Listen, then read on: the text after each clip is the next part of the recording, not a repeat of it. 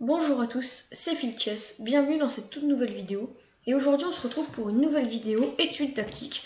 Donc aujourd'hui on va faire 12 problèmes tactiques, donc toutes les positions que vous pouvez voir à gauche dans l'étude. parce qu'il n'y en a que 12, et on va les faire, euh, donc c'est Elo 1800, 2200, voilà. Donc ça permet un peu de faire, euh, travailler la tactique, donc ça, ça mange pas de pain. Voilà, donc à noter, l'étude a été faite par le maître Vassili Vladaki. Donc voilà, si vous voulez aller checker son étude, ben faites-vous plaisir, voilà. Donc, alors, premier problème. Alors là, on voit déjà qu'on a une dame qui pourrait éventuellement taper sur H7. Avec un mat, vous savez, très connu, avec le cavalier. Voilà. Alors déjà, on voit ensuite que ce cavalier peut éventuellement se redéployer pour attaquer le roi. Donc éventuellement, s'il allait en G6 et que ce pion-là est cloué et que ce pion-là pouvait ne pas prendre, il y aurait mat. Car euh, le roi est attaqué et tout est cloué. Voilà. Donc du coup, comment mettre euh, un, de ces deux maths en place? Parce que bien sûr, euh, d'autres idées de maths, on pourrait toujours faire ça, puis ça, puis ça, ou échanger, mais ça ne matterait pas de suite, et même si ça gagnerait des choses, on cherche vraiment un mat, et là on a vraiment envie de gagner, on a une très bonne position. Donc voilà, premier coup, cavalier G7. Alors cavalier G7, on, on dévie le cavalier avec l'idée d'attaquer la dame et de plus tard menacer cavalier G5 pour mater. Un mat un peu imparable parce que s'il ferait H6, on ferait d'un prend H10 mat. Et donc si fou prend E4, euh, on va jouer tout simplement tour prend E4. Alors bien meilleur que cavalier G5, je vous montrerai après pourquoi. Maintenant cavalier G5, donc on menace mat et on menace la dame. Donc bien sûr la dame va rester sur cette diagonale parce que si elle bougeait dans une autre diagonale on battrait. Parce que là, maintenant, sur dame prend H7, il y a dame prend H7 qui défend. Donc euh, bah, la seule case, c'est ici sur la diagonale. Donc on va tout simplement, voilà, faire ça. Et maintenant, on va essayer d'attirer la dame noire pour mater. Donc là, on voit le roi, vraiment, euh, ça, va être un mat à l'étouffer. Il a vraiment aucune case. Donc euh, si jamais on arrivait vers cavalier prend F7, on materait. Ou dame prend H7. Mais la dame là, elle est vraiment très solide. Donc comment faire pour l'éliminer? On fait dame prend H7, on attaque le roi. Et sur dame prend h7, cavalier prend f7 mat. Le très joli mat à l'étouffer par attraction. Alors donc ce que je voulais vous montrer, voilà, donc ce que je voulais vous montrer, c'est si jamais, euh, si jamais on faisait kg5 de suite, en fait là ça marcherait pas parce qu'on pourrait menacer ça et ça, soit mais en fait là il ferait fou g6 et euh, donc il défendrait et la tactique de tout à l'heure marcherait pas parce que sur dame prend h7, fou prend h7, cavalier prend f7, ben, il y a la dame qui contrôle là. Donc il pourrait faire dame prend f7 et on aurait tout simplement perdu une, dame. Et euh, bon, on va perdre la partie. Voilà. Donc position 2. Alors, position 2, on voit qu'on pourrait éventuellement faire un mat ici. C'est ce qui est assez, visible d'ailleurs, hein, ce, qui choque un peu dès qu'on voit la position. Ensuite, qu'est-ce qu'on voit? On un cavalier. On voit un cavalier qui pourrait aller éventuellement à 3 pour libérer la case à la dame. Un cavalier qui pourrait bien contrôler le centre et un cavalier qui est attaqué. Alors côté blanc, on voit bah, la dame et le fou qui sont alignés, mais qui tapent au final sur un pion bah, assez solide, car euh, tout est défendu. Et un cavalier pas si bon que ça, parce qu'au final il a pas tant de casse que ça, même si euh, il pourrait quand même aller en A5 et avoir des petites opportunités. Il va peut-être s'emparer de la case C6, et euh, il faut soutenir des C5. Voilà. Donc là, qu'est-ce qu'on va faire côté noir? Bon, déjà, le premier coup, c'est tour prend C4. Alors, pourquoi tour prend C4 Parce qu'en fait, une fois qu'on a pris avec la dame en C4, la dame, en fait, est attirée. Donc, il y aura éventuellement un réseau de fourchettes royales. Donc, ce qu'on va essayer d'exécuter, d'ailleurs. Donc, du coup, là, on se rend compte qu'on a sacrifié une tour contre un pion. Donc, ensuite, on va faire dame prend B2 échec. Donc là, on a une tour et une dame de moins. On va faire cavalier à 3 échecs. On va récupérer la tour et récupérer la dame. Avec bien sûr, euh, bah, donc du coup des pions de plus et euh, bah, surtout ce fou là qu'on va récupérer en fin de variante qui défendra le cavalier. Voilà, la petite pointe. Donc position 3. Alors dans la position 3, on voit les dames déjà qui sont face à face. Donc il y a un conflit. On voit éventuellement que les noirs n'ont pas roqué. Donc du coup, bien sûr, euh, il pourrait y avoir des idées comme ça. En l'occurrence, c'est le thème. des fous qui sont alignés, mais qui au, final sont vraiment pas foufou. Parce que ce fou là tape sur rien du tout. Et ce fou là bah, tape sur un cavalier qui est bien défendu. Et donc c'est ça le problème, ils pourront jamais ouvrir avec 5 parce que c'est cloué. Ça ne servira à rien, ils menaceraient rien du tout. Donc là, premier coup, cavalier prend e 6. Alors cavalier prend E6, bon déjà sur dame prend C7, il y aurait tout simplement cavalier prend C7 et fourchette royale, donc on reprendrait une tour et on aurait gagné une qualité. Donc du coup ils prennent la pièce et en fait là on va s'amuser parce qu'en fait les noirs n'ont pas roqué. Donc en fait on va tout simplement profiter en, bah, en gardant la puissance des cases blanches, la puissance pour aller blanc et la faiblesse des noirs du coup, en jouant fou G6. Donc on attaque le roi, donc euh, le seul coup c'est de bah, roi F7, roi F8 pardon, parce que si dame F7 ben, on, gagnerait la dame, ça serait vraiment catastrophique. Donc ok, roi F8, et donc du coup après roi F8 qu'est-ce qu'on peut faire? Il faut chercher vraiment à continuer l'attaque. Et donc là, le coup qui gagne tout c'est tour point E6. Parce que si on prend C7, il y a tour E8 mat, et si on prend la tour, ah bah, il y aurait tout simplement euh, bah, dame D8, échec, puis euh, le seul coup, après le seul coup dame E8, il y aurait dame prend U8 mat. Voilà. Donc c'est un peu le même réseau.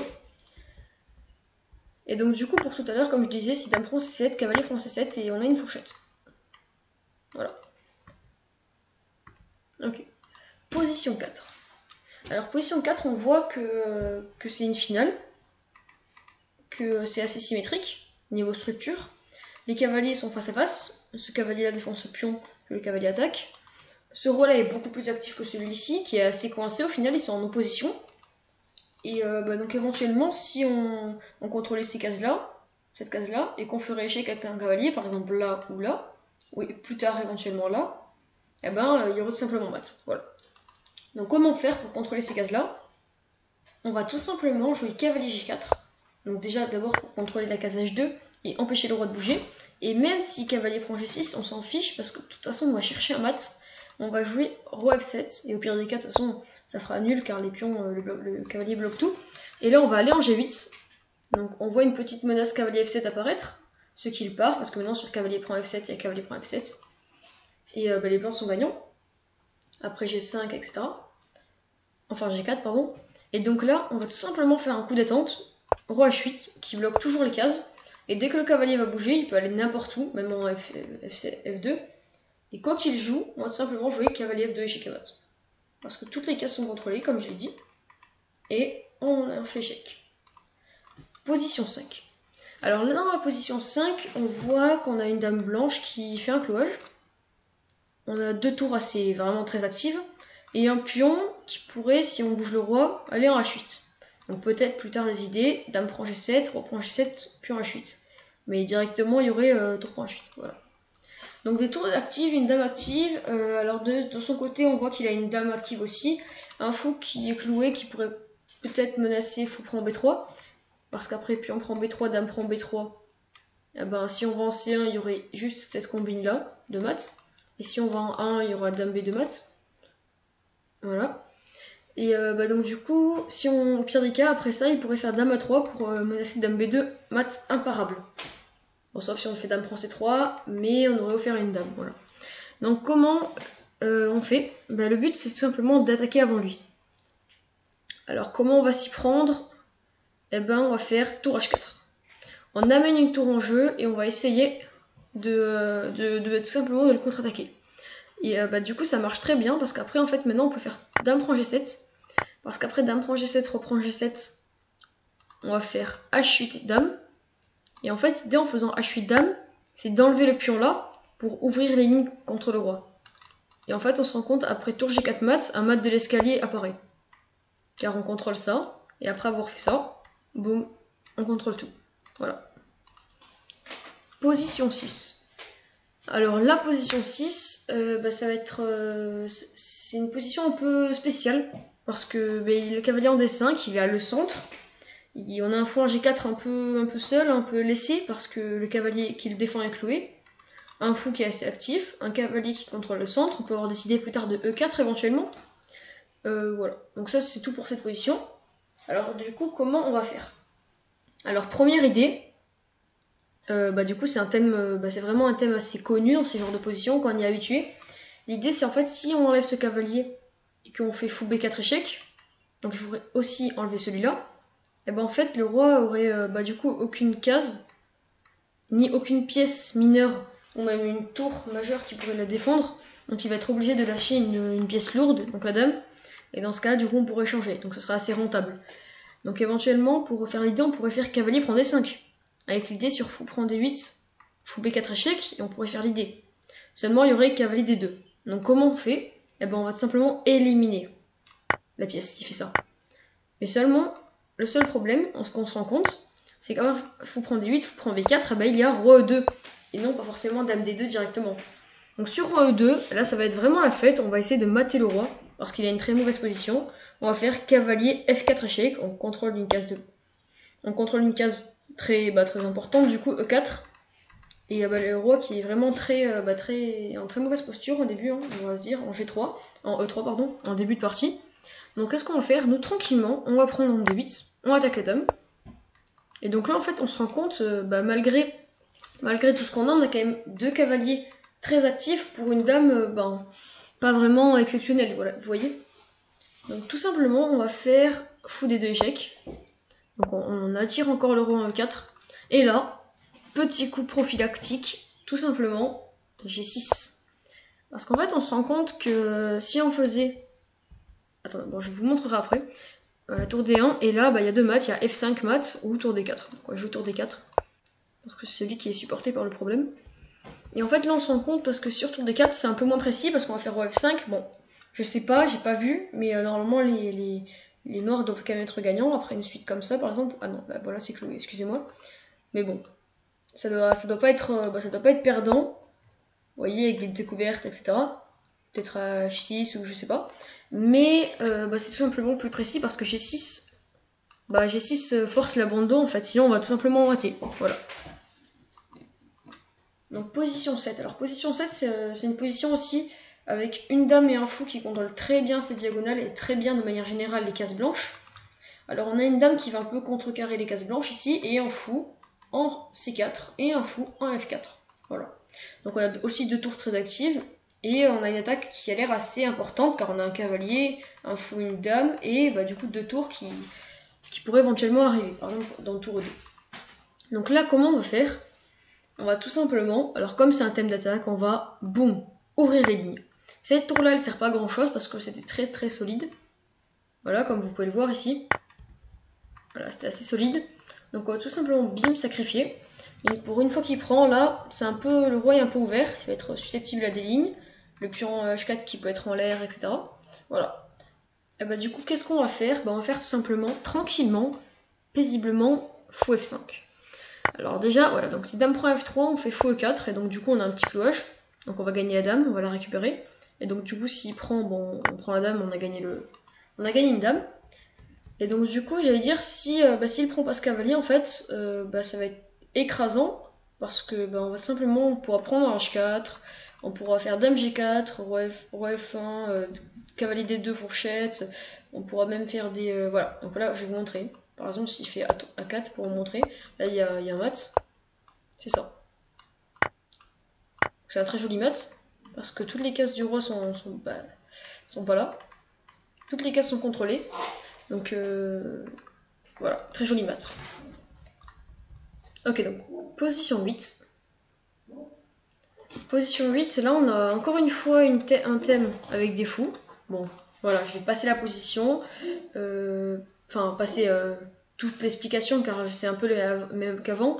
Toutes les, euh, bah, les, cases noires sont très bien contrôlées, etc. Donc on va faire dame h6. Alors pourquoi dame h6 Parce qu'en fait, dans ces thèmes-là, on peut gagner un temps en approchant la dame du roi, tout simplement le faire. En plus, on se rend compte éventuellement que ce fou-là pourra plus tard éventuellement entrer en jeu, parce que là, éventuellement, s'il y avait le pion E5, on pourrait faire dame pour H7 mat. Donc là, qu'est-ce qu'on va faire? On va faire fou F6. Alors fou F6, on menace dame G7 mat imparable, donc vraiment, il n'y a aucune défense, sauf fou prend F6. Voilà. Donc qu'est-ce qu'on va faire sur, sur fou prend F6 Bon, déjà, on se rend compte, si on faisait dame prend F6, on enlève toute la pression ici, on a fait un échange, on a joué dame h6 pour rien, on a enlevé le roi de g7, donc ça sert vraiment à rien. Donc le bon coup c'est e5. e5 on menace de mat. Et donc du coup le seul coup cavalier prend d3 pour euh, empêcher le mat euh, bah, maintenant. Seulement après ça il y a pion prend f6 et en fait là on se résulte à la même chose. Parce qu'après avec le fou c'est un peu bah, le même principe que le fou, on va tout simplement mater en g7 imparable. Donc après il pourra faire une multitude d'échecs. On va tout simplement tous les parer puis après mater. Donc cavalier H3, bien sûr, ne pas prendre, euh, ne pas prendre ici, hein, parce que ça ouvrirait les lignes, ça serait vraiment... Voilà. Donc tout simplement, ne pas se compliquer, on fait tout simplement Roi F1. Sur Fou C4, on va faire cavalier E2, on bloque. Et sur Fou prend E2, faire attention à bien faire Roi E1. Parce que sur euh, Roi prend E2, bah, il y aura simplement des attaques comme ça. Tandis que sur Roi E1, on bloque tout. Et sur euh, bah, Dame, euh, Dame A5, on fait B4. Et bon, après, voilà, il peut sacrifier la dame, ça ne changera rien à l'issue de la partie. Puis on va mater, comme on avait dit. Position 9. Ok, donc dans la position 9, on a des tours qui sont assez actives. De l'autre de côté aussi, il a quand même une dame, une tour, avec un pion en H4, un pion en, en F4. On a une structure assez, bah, assez quand même euh, sur les, pions blancs. Donc on a des faiblesses sur les cases noires, des grosses faiblesses même. On a un cavalier en F8 qui est très mauvais, parce que bah, il contrôle rien du tout. Euh, toutes les cases qui là quasiment sont, bah, sont, sont des pions. Donc du coup, comment faire pour, bah, pour au final attaquer ce roi? Donc bon là je pense que vous en aurez rendu compte, on va profiter de ce pion passé et de celui-là pour dynamiter éventuellement et avancer. Donc ce pion B3. Donc c'est ce pion B3 qui va faire la game, comme on dit. On va gagner la partie avec celui-là. Donc on va voilà, on va essayer de le pousser. Donc comment faire? On va tout simplement déjà prendre première étape et bah, sur tour prend C3, on se rend compte que bah, si on faisait dame prend C3 puis on prend B2, bah, on pourrait aller en, en B1 pour faire mat. Sauf qu'en fait, il y a cavalier prend B2. Donc tout simplement, ce qu'on va faire, c'est élimination du défenseur. Et donc là, à ce moment-là, on se rend compte quand même qu'on a un cavalier pour une dame. Donc voilà. Donc déjà, si on pousse ici, ça sera mauvais. Parce qu'en fait, il pourra faire tour E1, euh, tour D1, pardon. Et sur dame A2, euh, voilà. Donc sur euh, tour oui, tour 1, excusez-moi. Bah du coup, c'est bon, un peu moins bon. Parce que, attends, je vous montrerai la ligne après. Tandis qu'en fait, là, directement, sur tour 1, bah, on fait échec. Le roi bouge. Et là, on va tout simplement pousser. Il peut rien faire d'autre. Hein, parce qu'il a pas il a case ici. Même s'il l'avait... Euh, bon, bah, s'il l'avait quand même, je vous accorde que ce serait pas mal pour les blancs. Parce qu'ils auraient une dame contre une tour un cavalier. Mais bon, voilà. Tandis que sur ça... Sur ça, on ferait tout simplement... On prendra ici. Et on fera dame. Voilà. Donc la ligne que je voulais vous montrer, euh...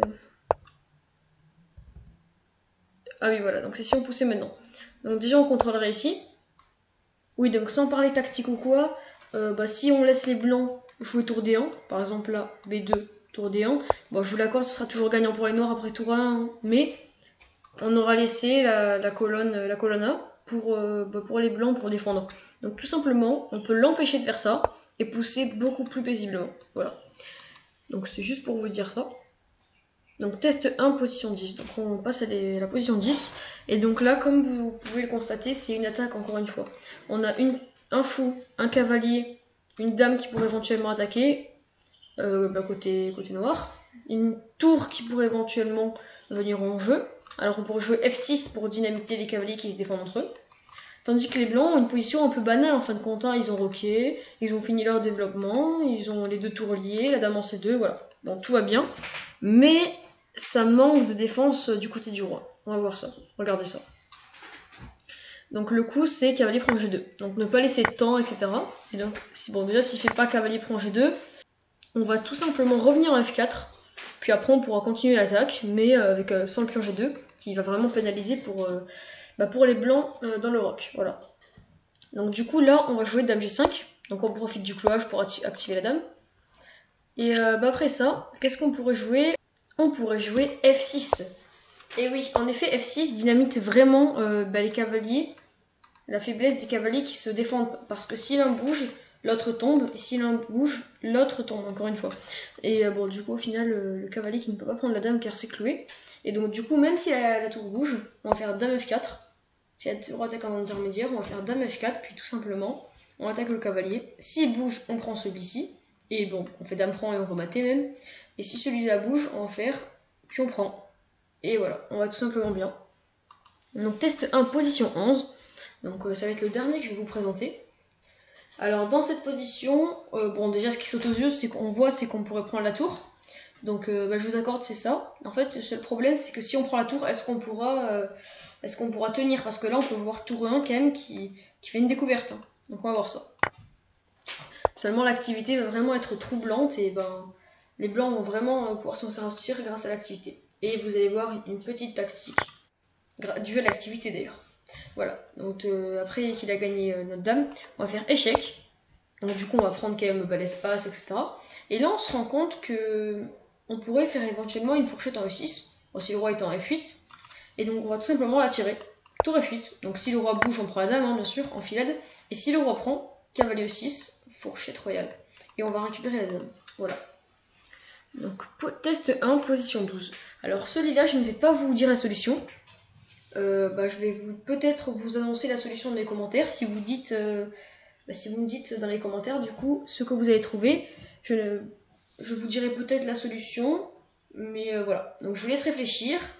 Bonne chance et ne trichez pas. Sur ce, je vous laisse. C'est la fin de cette vidéo. Bye tout le monde, c'était Phil Chess.